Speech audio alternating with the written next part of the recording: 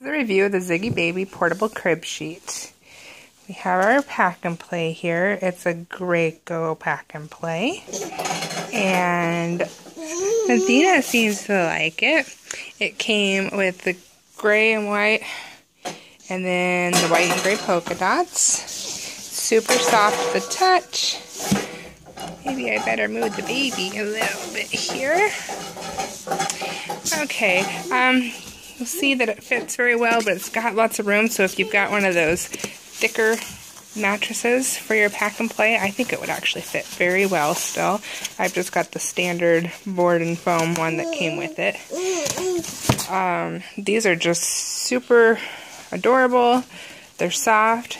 They have the, um, what's the word I'm looking for?